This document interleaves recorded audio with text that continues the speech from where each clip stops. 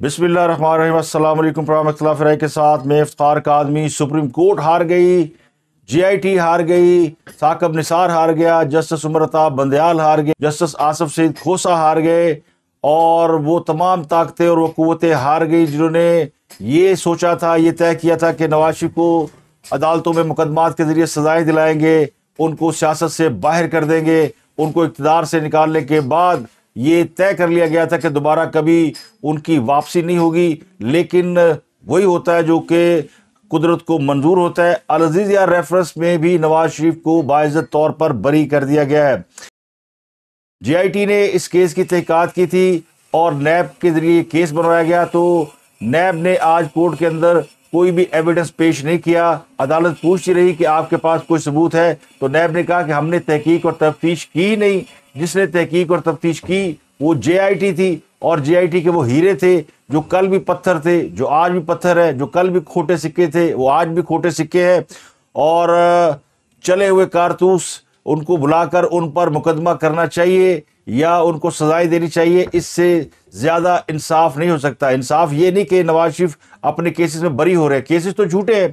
Cases पहले भी झूठे थे, केसेस आज भी झूठे हैं, केसेस आइंदा आने वाले वक्तों में भी झूठे बन सकते हैं। पाकिस्तान के अंदर जो सियासी निज़ाम है, वो इतना पेचीदा है कि कल आप हीरो हो सकते हैं और कल आप ज़ीरो भी हो सकते हैं। तो कभी के दिन बड़े, कभी की रातें तो ये हम पाकिस्तान की सियासत में इसको तोतर के साथ देख रहे हैं।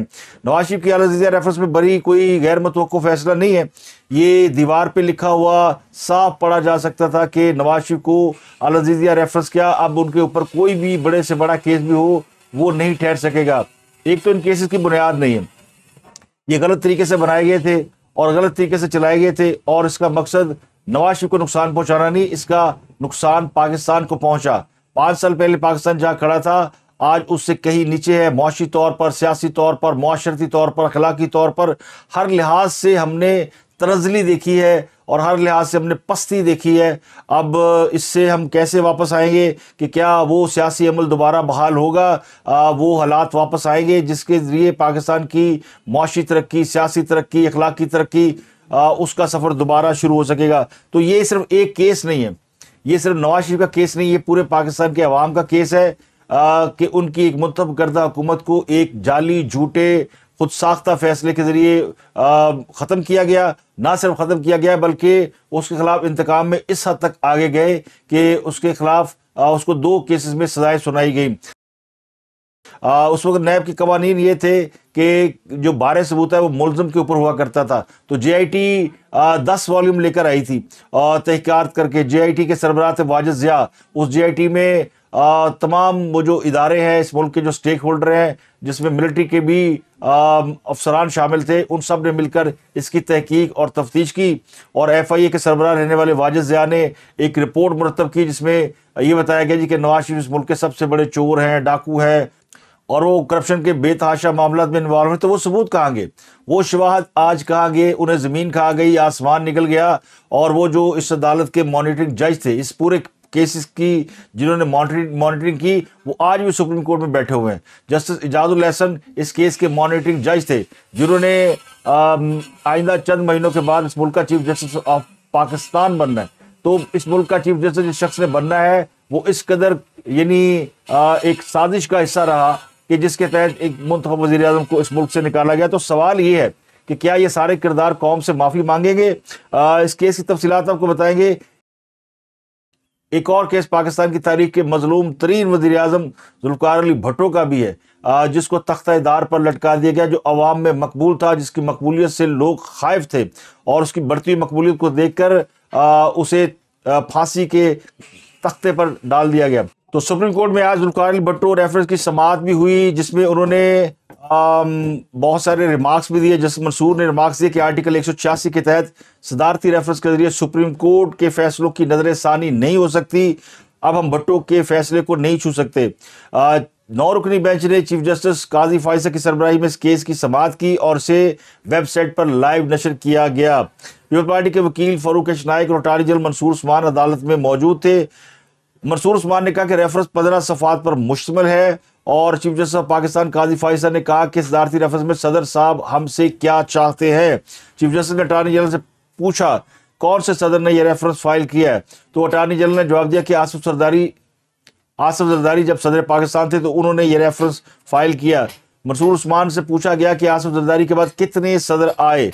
अटारनी जनरल ने जवाब दिया जरदारी के बाद दो सदर आए। चीफ जस्टिस ने कहा, किसी सदर ने सदारती रेफरेंस वापस नहीं लिया तो ये अब भी अदालत के अख्तियार में है। जस्टिस मोहम्मद अली मजर ने कहा कि रेफरेंस में क्या सवाल उठाए गए? वकील फारूक अशरागी ने कहा कि रेफरेंस समात के लिए मंजूर हो चुका है। वकील फारूक नाइक ने कहा कि जस्टिस नसीम हसन शाह ने इंटरव्यू में तस्लीम किया कि इन पर दबाव था। दूसरे इंटरव्यू में नसीम शाह ने कहा कि मार्शल्ला वालों की बात माननी पड़ती है। जस्टिस मंदू खैल ने कहा कि नसीम हसन शाह ने यह बताया कि किसने उन पर दबाव डाला था। फारूक अशनाई ने कहा, उस वक्त मार्शल्ला था। मार्शल्ला की बात की गई। जस्टिस मंसूर अली शाह ने कहा कि आप रेफरेंस का टाइटल पढ़े। वकील फारूक एशटैक ने कहा कि नसीम हसन शाह ने दूसरा इंटरव्यू किसी अनजान को दिया था। 2018 में भी रेफरेंस पर समाज के लिए दरखास्त दायर की गई थी। समाज के मौके पर सबक सदर आसिफ जरदारी बिलावल भट्टो और पीपल पार्टी की क्यादत सुप्रीम कोर्ट में मौजूद थी। पीपल पार्टी के चेयरमैन बिलावल भट्टो ने भी जुल्फकार भट्टो के रेफरेंस पर फरीक बनने और कार्रवाई बरह रास्त नशर करने के लिए मुतफरक दरखास्तें दायर की थी। इसके बाद इस केस की बरह रास्त समात की मंजूरी दी गई और इस केस को यूट्यूब और वेबसाइट पर जो है वो चैनलाइज किया गया और नशर किया गया। तो सुप्रीम कोर्ट ने इस केस में जो अदालती मुआवन मुकर किए, उनसे कहा गया कि वो अदालती या तहरीरी तौर पर या जुबानी तौर पर मुआवरत कर सकते हैं। जस्टिस रिटायर्ड मंजूर मलक, ख्वाजा हारस बतौर एडवोकेट जनरल पंजाब इस केस का हिस्सा रह चुके हैं। इसके अलावा सुलेमान सफदर, रजा रबानी खालिद जावेद, जाहिद इब्राहिम और यासर कुरैशी, मखदूम अली खान और अली अहमद कुर्द को अदालती मावर मुकर किया गया है। अहमद रजा कसूरी, जिनकी दर्ज करदा एफ़ आई आर की बिना पर भुट्टो को फांसी हुई थी, वो भी अदालत में मौजूद थे। उन्होंने रजा रबानी को अदालती मावर मुकर करने पर एतराज़ उठाया और ये कहा कि गैर जानबदार माहरीन को ही अदालती मावरीन मुकर किया जाए। अहमद रजा कसूरी का मौकफ यह तक सदारती रेफरेंस से बाद सियासी जमातें इलेक्शन में फ़ायदा उठा सकते हैं और इसकी कार्रवाई आठ फरवरी के इंतबात के बाद तक मुलतवी की जाए। तो इस सदारती रेफरेंस सबक सदर आसफ जरदारी ने अप्रैल 2011 में सुप्रीम कोर्ट में दायर किया था, जो गुजशत बारह साल से तकरीबन जेर अल्तवा है। पहली पाँच समातें सबक chief justice of Pakistan Iftikhar Chaudhry की सरबराही में ग्यारह रुकनी बेंच ने की थी। तो इस केस में बार बार जस्टिस नसीमतन शाह के इंटरव्यू का हवाला दिया गया है जो उन्होंने वक्त अखबार को दिया था। और इस केस में जुल्फ़ार अली भट्टो, अहमद रजा कसूरी के वालद के कत्ल के मुकदमे में नामजद थे, जिस पर उन्हें फांसी दी गई। तो अब ये केस जो है वो जनवरी के क्योंकि आगे अदालती छुट्टियाँ तो ये आगे चला गया। तो इस केस में सिर्फ़ एक जज जस्टिस मंसूर अली शाह ने इसके ऊपर क्वेश्चन मार्क लगाया है और वो उस केस को दोबारा ट्रायल करने पर एतराज़ उठा रहे हैं।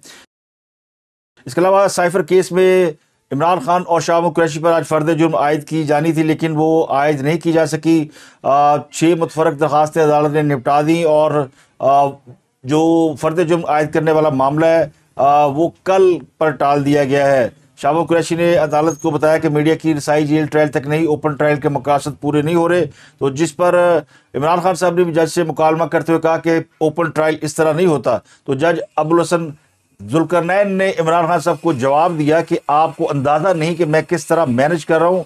अभी भी एक घंटा सुप्रिटेंडेंट के पास बैठ कर आया हूँ। अदालत ने रिमार्क्स दिए कि आपको अंदाज़ा नहीं कि मैंने आपको कितना रिलीफ दे दिया है। आइंदा भी देंगे और इंसाफ के तकाजों के मुताबिक होगा। आप डरें मत। कमर अदालत में मुलजमान के अहल खाना को आगे आने की इजाज़त दी गई और इस पर वकील ने कहा कि साइफर केस की कार्रवाई उजलत में आगे बढ़ाई जा रही है। हमने दो फैसलों को चैलेंज कर दिया है। तो जज अबुल जुलकर ने सवाल किया, आज तक जितनी समायतें हुई हैं, क्या जल्दी हुई है? मैं वक्त से पहले बात नहीं करता, जो करूँगा, मेरिट और हक पर करूँगा। मुझे नहीं पता कल क्या फैसला होगा। अगर किसी का जुर्म नहीं बनता तो उसको सलाहों के पीछे रखने का कोई फ़ायदा नहीं। अदालत मुतवाजन और न्यूट्रल होकर चल रही है। तो साइफर केस की समाज जो है, वो अडयाला जेल के कम्युनिटी सेंटर में की गई और मुलजमान की जानब से जुर्म के इनकार पर सगासा के गवाहों के बयान रिकॉर्ड किए जाने थे लेकिन जो आज नहीं हो सके अब मुलजमान को गुजशत समात पर मुकदमात की नकूल तकसीम कर दी गई थी। आज भी उनको आ, उन्होंने इतराज़ उठाया कि हमें मुकम्मल कापियाँ नहीं दी गई जिस पर अदालत ने कहा कि आपको चलान की दो दो कापियाँ दी गई हैं सात दिन के अंदर आपने कोई एतराज़ नहीं किया। आ, तो इमरान खान साहब के पूर्व फर्दर जुर्म मामला टल गया है या टाल दिया गया है? क्योंकि एक आज और बड़े केस का फैसला आना था और वो केस आपको पता है, नवाज़ शरीफ वाला केस है, जिसमें उनको अलजिया रेफरेंस में रिहाई मिली है। एक बड़ी ही अफसोसनाक खबर है डी आई खान में दहशत गर्दी का एक बड़ा वाक़ हुआ है। और बड़े दिनों से इस बात की इतला थी और कई सियासी रहनमा बार बार इस बात की तरफ़ इशारा कर रहे हैं। तो हुकूमत भी कह चुकी है कि डी आई खां में हालात अच्छे नहीं हैं। डेरा इसमेल खां में मुख्तलिफ़ कार्रवाई के दौरान सत्ताईस दहशत गर्द हलाक हुए हैं और उसमें पच्चीस जवान शहीद हुए हैं। आई एस पी आर की प्रेस रिलीज़ के मुताबिक ग्यारह और बारह दिसंबर की दरमियानी शब जिला डेरा इसमाइल खान में बड़े पैमाने पर मशकूक सरगर्मियाँ देखी गई, जिसको सिक्योरिटी फोर्सेज ने मॉनिटर किया, उनके खिलाफ ऑपरेशन किया और चुन चुन कर दहशत गर्दों को निशाना बनाया।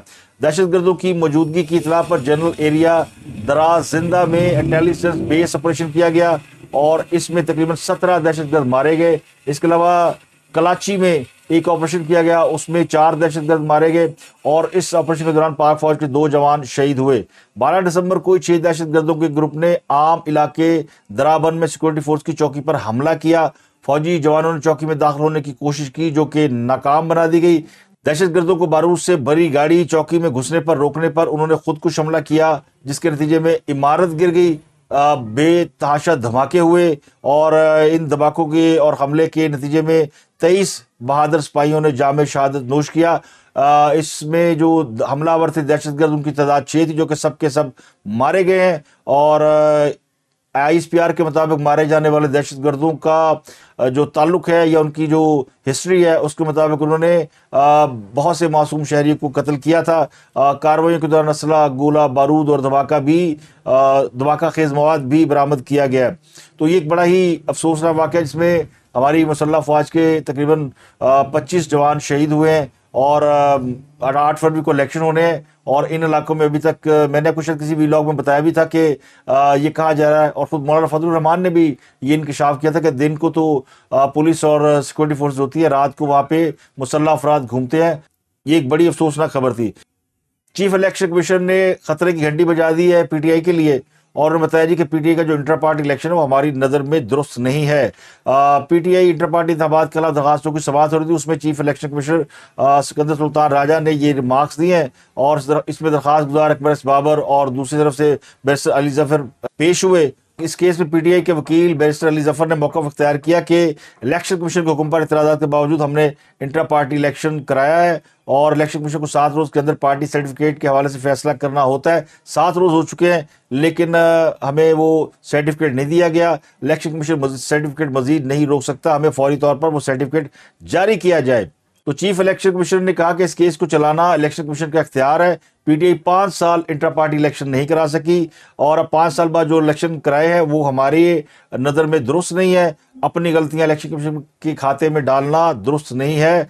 आ, इसके बावजूद हमने आपको मौका दिया कि आप इलेक्शन कराएँ। तो ये सवाल अगले यानी कुछ दिनों तक, चौदह दिसंबर तक मुलतवी कर दी गई है। इस केस में भी पेशावर हाई कोर्ट जो है वो पीटीए को स्टे ऑर्डर दे चुकी है, लेकिन इलेक्शन कमीशन ने इस केस की बाकायदा समाप्त की और उसे चौदह दिसंबर तक के लिए, यानी परसों तक के लिए मौखर कर दिया। इसके अलावा P T social media activist Khadija Shah, उन्हें कोयटा पुलिस ने इंसदाद दहशतगर्दी की अदालत में पेश कर दिया है। कल उन्हें कोयटा पुलिस लाहौर से गिरफ़्तार करके ले गई थी और उनका दो रोज़ा राहदारी रिमांड मांगा गया था। तो कल लाहौर हाई कोर्ट में खदीजा शाह ने राहदारी रिमांड मुतल करने की दरख्वास्त की थी, लेकिन समात नहीं हो सकी। आज उसकी समात हुई है और उसमें जस्टिस बाकर नजफी की सरबराही में दो रुकनी बेंच ने समात की।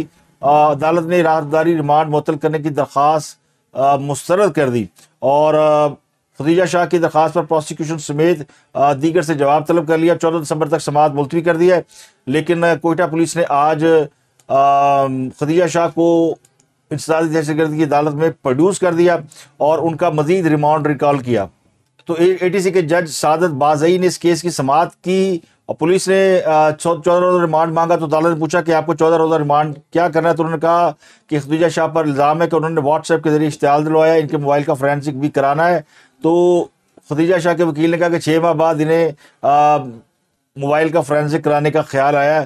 तो आ, उन्होंने खदीजा शाह के दो हफ़्ते रिमांड पर इतराज़ किया जिस पर अदालत ने खदीजा शाह को तीन रोज़ा रिमांड पर कोयटा पुलिस के हवाले कर दिया है।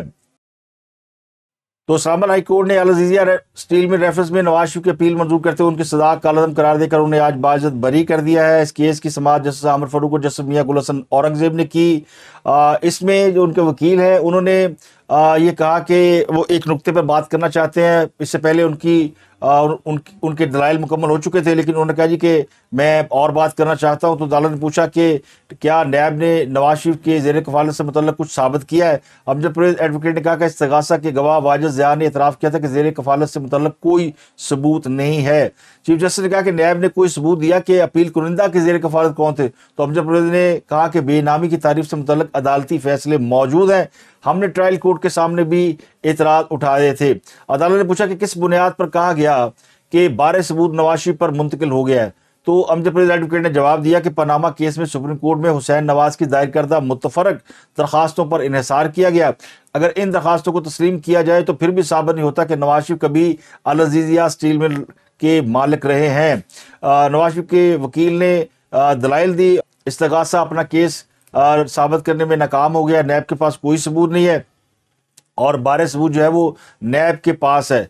अदालती फैसले में ये कहा गया कि मुकदमात में मुलजम को मासूम समझा जाता है और मुकदमात में इस्तगासा को इल्ज़ाम साबित करना होता है। फैसलों के मुताबिक बारह सबूत इस्तगासा पर होता है, ना कि मुलजम पर। मुलजम को अपनी बेगनाही साबित करने के लिए मजबूर नहीं किया जा सकता। यही कानून असासों के मुकदमात पर भी लागू होता है। तो नए प्रोसिक्यूटर ने भी अपने दलाइल का आगाज़ किया और उन्होंने कहा जी कि सुप्रीम कोर्ट ने अठाईस जुलाई के फैसले में रेफरेंस तैयार करके, दायर करने की हिदायत की। नैब ने अपनी तफ्तीश की। असाजात केस में तफ्तीश के दो तीन तरीके होते हैं। हमने जो सवाल शवाहद जमा किए वो रिकॉर्ड का हिस्सा है। इसमें एक सौ इकसठ के बयान भी है। नया प्रोसिक्यूटर ने नवाज़ शरीफ पर आयद की गई फर्द जुर्म के कुछ हिस्से पढ़े नया प्रोसिक्यूटर ने कहा कि फर्द जुर्म आयद करते हुए अदालत मुलजमान के मालूम जराए लिखे। नवाज़ शरीफ पर करप्शन और प्रैक्टिस के इल्ज़ाम के तहत फर्द जुर्म आयद की गई। एस सी पी बैंक और एफ़ बी आर के गवाह अदालत में पेश हुए। आमिर फारूक ने कहा कि बुनियादी तौर पर इस केस में अलजीजिया और हिल मेटल के इल्ज़ाम है। अलजीजिया में पहले बताएँ कितने पैसे भेजे, कैसे भेजे, कब फैक्ट्री लगी। तो नैब प्रोसिक्यूटर ने कहा कि ये वाइट कॉलर क्राइम का केस है।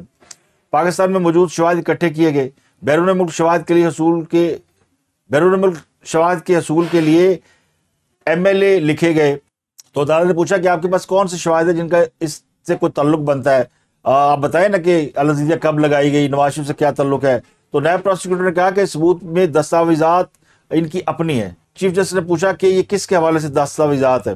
तो नैब ने इस्तः की कि इस केस को आप रिमांड बैक कर दें। हम दोबारा से इसको इन्वेस्टिगेट कर लेते तो अदालत ने यह दरख्वास्त मुस्रद कर दी। चीफ जस्टिस ने आ, कहा कि इस वक्त एहतसाब अदालत नंबर एक के जज ने इस रेफरेंस को सुनने से इनकार किया था। अदालत ने नैब को मेरिट पर दलाल देने की हदायत की और कहा कि आपको बताना है करप्शन और करप्ट प्रैक्टिस से ये रकम सऊदी अरब भेजी गई। नैब के गवाह वाजिया खुद मान रहे कि नवाज़ की मलकियत का कोई सबूत नहीं है। इस दस्तावेजात को दुस्त मान लिया जाए तो साबित नहीं होता कि नवाज़ का अलजिया और हिल मेटल के साथ कोई ताल्लुक है। नायब प्रोसिक्यूटर ने कहा कि वाजिया ने तजिया किया तजिया किया कि नवाज़ शरीफ असल मालिक है। हमारा केस वाजिया के एनालिसिस की बुनियाद पर बना है। तो चीफ जस्टिस ने कहा कि दस्तावेजात से तो आ, कुछ साबित नहीं हो रहा। मफरूजे पर तो कभी सजा नहीं होती है। तो नए प्रोसिक्यूटर ने कहा कि रिकॉर्ड में ज़्यादातर दस्तावेजात फ़ोटो कॉपी है। आ, तो अदालत ने कहा फ़ोटो कॉपी अदालत के रिकॉर्ड का हिस्सा कैसे बन सकती है? तो चीफ जस्टिस ने कहा कि मफरूजे पर तो बात नहीं हो सकती। नवाज़ शरीफ ने कैसे करप्शन की और कब प्रैक्टिस से ये पैसा बाहर कैसे भेजा ये साबित नहीं होता। आ, जो इस केस का स्टार गवाह वाजा जया वो कह चुका कि इसका कोई सबूत नहीं है और ये बात भी सामने कि इनके वालद का बहुत बड़ा कारोबार था। तो अदालत ने दो तरफा दलाल मुकम्मल होने पर केस की समात जो है वो मुकम्मल की फैसला महफूज किया और कुछ देर के बाद फैसला सुना दिया और सजा को कालदम करार दे दिया। तो इस मौके पर बड़ी तादाद में लोग मौजूद थे लेकिन अब ये वो केस है जिसमें नवाज़ शरीफ को सात साल सजा सुनाई गई थी और इस केस के जज थे जज अरशद मलिक, जिन्होंने खुद ये तस्लीम किया कि उन पर दबाव था। तो ये केस वैसे ख़त्म हो गया था। तो ये केस बुनियादी तौर पर उस वक्त सुप्रीम कोर्ट ऑफ़ पाकिस्तान ने बनवाया था। एक जे बनाई थी और जे के ज़रिए तहकीकत कराई गई और बाद में उन तहकीकत की बुनियाद पर नैब पर दबाव डाला कि नवाज़ शरीफ के खिलाफ ये केस कायम करो। तो आज उनके इन केसेस का यानी दूध का दूध और पानी का पानी हो गया। अब इस केस में जो बुनियादी नुकता है जो दो मौकफ आते हैं एक मौकफ ये कि पहले पता था कि नवाज़ शरीफ को रिलीफ मिल रहा है और ये केस ख़त्म हो जाएगा और उनके केसेस ख़त्म करने का जिस तरह केसेस कायम किए गए इस इस तरह ख़त्म भी किए जा रहे हैं तो ये भी मुतनाज़ा बात है। तो सवाल ये कि फिर नवाज़ शरीफ केसेस कैसे ख़त्म होते हैं? तो इसके अलावा कोई तरीक़ेकार और था नहीं। आ, लेकिन ये भी दुरुस्त है कि उस वक्त नवाज़ शरीफ जेर ताब थे तो सारी ताकतें उनके खिलाफ कटी थी। आज हालात मुख्तलिफ़ है। इसको कंपेयर करेगा इमरान खान के केसेस से तो बिल्कुल मुख्तलिफ़ है। इमरान खान के खिलाफ जो केसेस है, वो एविडेंस के साथ है। अब नौ मई उनके ऊपर जो केस है, या साइफर का केस है, ये किसी जेआईटी ने नहीं बनाया। ये सुप्रीम कोर्ट के हुक्म पे नहीं बना। इसकी कोई इन्वेस्टिगेशन टीम स्पेशल नहीं बनी। ये एक कानूनी यानी मेथड के तहत आगे बढ़ रहा है तो इन केसेस का, उस केसेस से कोई ताल्लुक नहीं।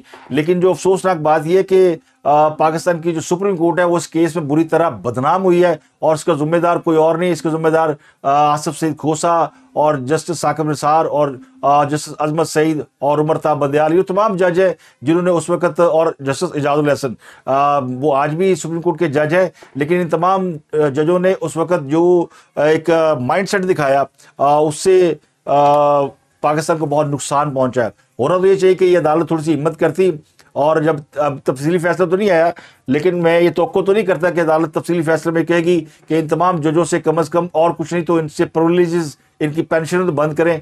माफ़ी मांग लें कि हमसे गलती हुई। इस्टेब्लिशमेंट जिनके ऊपर ये सबसे बड़ा इल्ज़ाम था, वो आज अपनी गलती का इदराक भी करती है और उससे एहसास भी करती है। लेकिन जितना नुकसान पाकिस्तान की जुडिशरी ने पाकिस्तान को पहुँचाया है, इतना नुकसान चार मार्शल और कई सियासतदानों ने पाकिस्तान को नहीं पहुँचाया।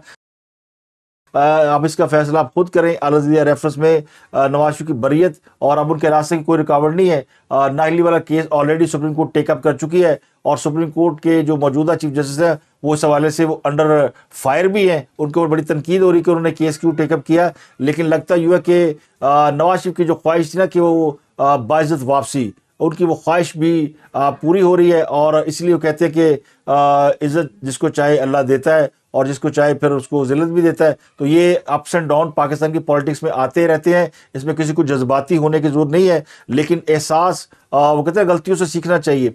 आ, वो टाइम है। इन फैसलों से आ, बहुत कुछ सीखने को मिलता है। अगर आज भी किसी के खिलाफ गलत और झूठे मुकदमा बना रहे हैं तो खुदा के लिए बंद कर दें। कौन रॉन्ग है, कौन राइट है, इसका फैसला तारीख करती है, कोई और नहीं करता। कल भट्टो साहब को रॉन्ग समझकर फांसी लटकाया गया तो उनका भी आज पूरी दुनिया जानती है कि वो तारीख की दुरुस्त सिम पर थे गलत सिम पर नहीं थे। नवाज़ शरीफ को भी कल सजा दी गई तो पता चला कि वो तारीख की दुरुस्त सिम पर थे, गलत सिम पर नहीं थे। और आज इमरान खान के हवाले से भी कुछ अगर फैसले आते हैं तो उसका फैसला भी तारीख ने करना है कि वो गलत सिम पर थे या दुरुस्त सिम पर थे। तो अब तक के इतना ही, आपसे मुलाकात होती है अगले भी लोग में। अपना गिरदुरमा के लोगों का बहुत ख्याल रखिए।